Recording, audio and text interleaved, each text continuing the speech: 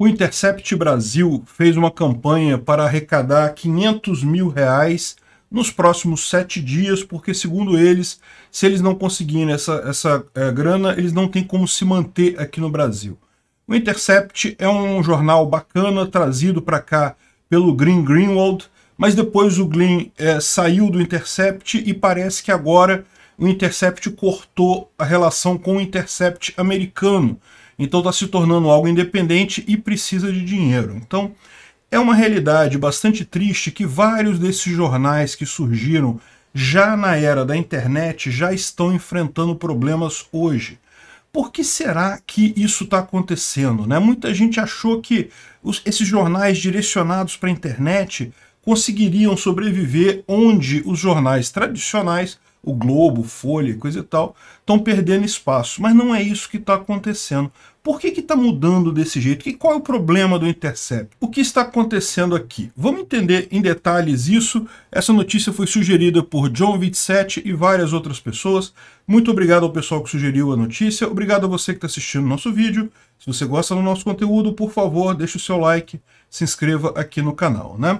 Bom, antes de mais nada, deixa eu deixar claro aqui que eu discordo da linha editorial do Intercept. Tá? Eu critiquei ele já por várias reportagens que eles fizeram, e dá para ver facilmente aqui que eles apoiam o Lula, que eles são contra o Bolsonaro e coisa e tal. Mas até aí é aquilo que eu falo. É, é, é, posso ser contra a linha editorial deles, mas não tenho nada contra o, o, o negócio em si. Acho que é um negócio interessante. Quanto mais jornais, quanto mais fontes de informação a sociedade tiver, melhor.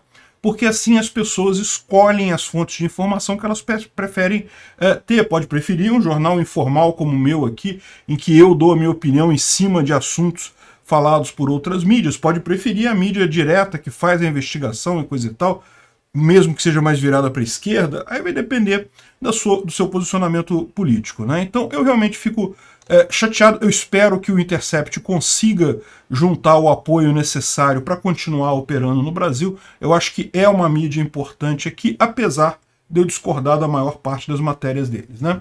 Agora, a questão que fica aqui é porque não é um fenômeno do Intercept apenas. Lá nos Estados Unidos também surgiram vários jornais nessa mesma linha, jornais novos na internet, aquele jornal que é, tem uma estrutura que não é diferente do Globo, da Folha, coisa e tal, mas que já surgiu na internet. Aqui tem outras, outras alternativas também, por exemplo, o Antagonista foi outro jornal que surgiu nesse caminho também. Enfim, tem uma série de outras iniciativas, né? porque o que, que aconteceu? Quando começou a, a questão de notícia na internet, os jornais tradicionais em papel simplesmente perderam a relevância para para pensar, quem é que vai comprar jornal hoje em dia se você vai na internet e tem todas as notícias ali, né? É uma coisa que realmente não tem porquê, né? Não tem como você comprar esse tipo de coisa. Então, na minha época, quando eu era mais novo, antes desse fenômeno da internet, se você queria saber sobre notícia, o que estava acontecendo no mundo, você tinha que comprar o jornal, não tinha alternativa não. Ou assistir a televisão e assistir o Jornal Nacional ou os jornais da televisão aberta, né? Era a alternativa que você tinha. E uh, o problema do jornal é esse, ele é pago. Mesmo que não seja muito caro, dois reais, três reais, nem sei quanto é que está um jornal hoje em dia. Mas enfim, era, era um valor que você tinha que pagar. E aí, hoje em dia, ninguém mais tem interesse em pagar porque você tem de graça na internet a informação, você entra no Twitter, tem todas as informações que você possa imaginar ali, né? Então, o que aconteceu? Quando chegou a internet, o pessoal falou, não, peraí, esse negócio, esse modelo de negócio do jornal tradicional não está funcionando mais. A gente tem que buscar um outro modelo de negócio. E daí surgiram inúmeros é, é, projetos menores e coisa e tal, lá nos Estados Unidos, aqui no Brasil e coisa e tal, já focados na internet, com esse interesse de fazer notícia no ambiente da internet.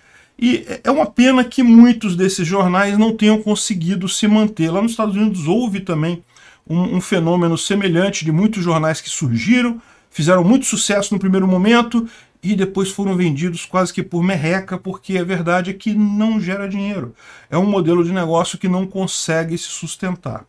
E é, muita gente teme que aí você fique na situação em que você não consegue mais ter notícias confiáveis. Por quê? Porque essas fontes é, principais, digamos, mais é, burocráticas ou mais estabelecidas, sairiam do negócio e daí você não teria onde pegar notícias reais, né?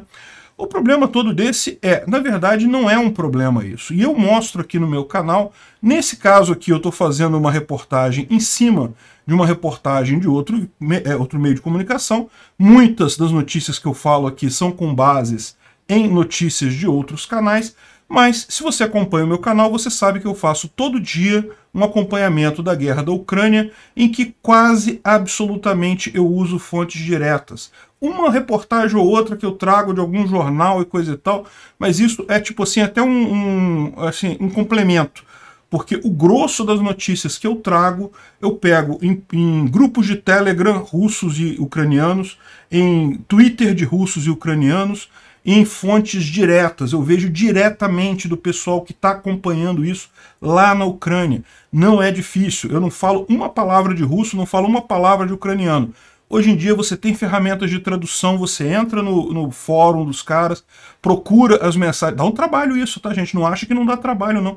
Dá um trabalho danado esse tipo de coisa, você condensar a coisa toda, separar toda a notícia, o que, o que, que realmente é notícia, o que, que é importante de você falar. Então, o que eu estou fazendo nos meus vídeos da Ucrânia é como eu vejo que será o jornalismo na internet no futuro. É isso daí, você tem como ir na fonte direta. Ok, é verdade, quando eu tenho uma notícia pronta aqui de um jornal, eu já vou na notícia do jornal, já tem todo o arcabouço preparado aqui, eu só vou dar o meu comentário em cima disso. É aquilo que eu falei para vocês. É, hoje em dia, a notícia ficou de graça. A notícia é de graça. Mesmo meu vídeo da Ucrânia, eu sei que se você quiser, você entra você mesmo lá no, no Twitter, no Telegram, onde, onde quer que seja, e pega todas as notícias que eu falo aqui da Ucrânia. Você não precisa assistir o meu vídeo da Ucrânia. Você pode pesquisar você mesmo e vai pegar todas as informações ali. O que, que é o valor que um é, canal de notícias hoje coloca para o cliente final? É a editoração e o, uh, a opinião. Editoração é o que? Você separar o que é melhor, o que é relevante, o que é importante, daquilo que não é relevante, daquilo que não é importante. Então, por exemplo, isso é uma coisa que eu faço. Você vai ver, eu pego as notícias que, que eu falo lá no, no, na coisa da Ucrânia, buscando o que é realmente relevante para quem quer entender o que está acontecendo nessa guerra. Porque tem um monte de coisa que é interessante de você ver. Ah, o cara destruiu um tanque do outro cara. Pô, beleza, bacana, legal. É um, é um vídeo bonito de você ver. Mas a verdade é a seguinte, numa guerra, o tempo todo um lado destrói tanque do outro lado. Então mesmo, meio que não, não é uma coisa que realmente faça diferença no final do dia. A menos que seja uma coisa muito excepcional, sei lá, usou uma arma específica ou fez alguma coisa assim de uma forma muito diferente, não tem por que botar esse tipo de notícia, né? Então isso é editoração. E, de novo, eu, eu, isso dá trabalho. Se você acha que isso não dá trabalho de fazer, dá. E é por isso que as pessoas gostam de ver o meu vídeo. Por quê? Porque eu já separo tudo isso daí para elas. E outra coisa é opinião. É, eu acho que hoje em dia na internet você tem que ter opinião. Esse negócio de você só dar a notícia, como, como era? Assim, houve uma época que o jornalismo era caracterizado por isso, por você dar a notícia sem é, dar nenhuma opinião sobre a coisa. Qual que é o problema disso? é que você perdeu metade do valor que você pode dar na notícia ali. É, é, são as duas coisas que sobraram, é editoração e opinião. Então eu dou a minha opinião em toda notícia. Isso aqui é um canal anarcocapitalista libertário, mas particularmente com a minha opinião libertária sobre esses assuntos. Então, o que, que eu acho disso aqui do, Internet, do Intercept Brasil? Eu acho que não é um modelo de negócio viável. Pode ser que eles consigam juntar o dinheiro e continuar operando no Brasil. Torço para isso, na boa. Não, ninguém, eu, gente, eu já quebrei empresa, já tive que demitir um monte de funcionário. É uma dor enorme, é, triste isso, é terrível. Eu não quero isso para ninguém, nem para os donos da empresa, nem para os empregados da empresa. É uma dor terrível, então não torço mesmo para eles quebrarem, tomara que eles consigam. Mas a minha visão, olhando de fora disso daí, é que é um modelo de negócio inviável. Eles podem se safar agora, vão continuar por mais um tempo, mas vai chegar uma hora que eles não vão conseguir fazer isso porque eles ainda estão com o mesmo problema da mídia tradicional. Estão super é, é, elaborados, estão super capacitados para fazer o tipo de coisa que se requer hoje de um jornal. É muito menos que você precisa hoje. Uma equipe muito mais enxuta você consegue manter. Talvez o antagonista consiga. Tá? O antagonista ele andou precisando de dinheiro, aí pegando dinheiro, coisa e tal. Mas se eles focarem no, no mínimo em, em minimizar a coisa, fazer bem pequeno, eu acho que eles têm condição de fazer um, um bom jornal por lá Embora o antagonista também, deixa claro, eu discordo da maior parte das coisas que eles falam lá também. Então, assim, é, mas, de novo, eu acho que eu não tenho crítica quanto à existência disso. Eu acho que quanto mais gente falar na internet, melhor, né? Então é isso daí. Eu torço para o pessoal do Intercept conseguir sobreviver aí, mas eu faço a minha ressalva.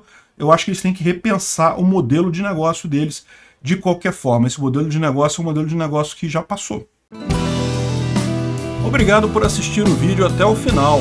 Além de curtir, compartilhar e se inscrever no canal, considere se tornar patrocinador com valores a partir de R$ 1,99 clique no botão Seja Membro abaixo para saber as condições e vantagens de patrocinar o canal. Mais informações sobre o nosso projeto, visite nossos sites indicados na tela.